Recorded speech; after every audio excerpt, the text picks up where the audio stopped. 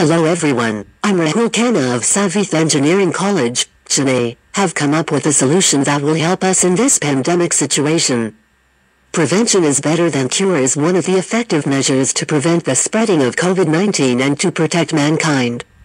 Many researchers and doctors are working on medication and vaccination for corona. COVID-19 spreads mostly by droplet infection when people cough or if we touch someone who is ill and then to our face, eye-e rubbing eyes or nose.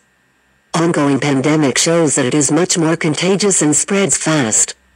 Depending on the infection spreading, we have two cases, fast and slow spread. Fast pandemic will be terrible and will cost many lives.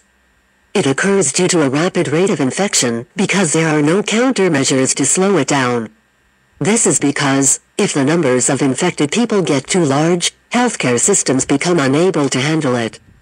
We will lack resources such as medical staff or equipment like a ventilator. To avoid the above situation, we need to do what we can to turn this into a slow pandemic.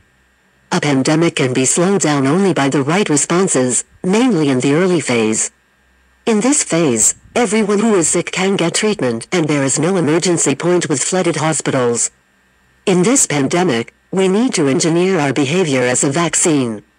That is, not getting infected and not infecting others. The best thing we can do is to wash our hands with soap or a hand sanitizer. The next best thing is social distancing. The system is designed to detect the faces and to determine whether the person wears a face mask or not.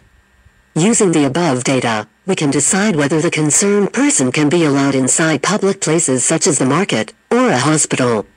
This project can be used in the hospital, market, bus terminals, restaurants, and other public gatherings where the monitoring has to be done. Let's stay home and support our kind to fight against this pandemic. Thank you.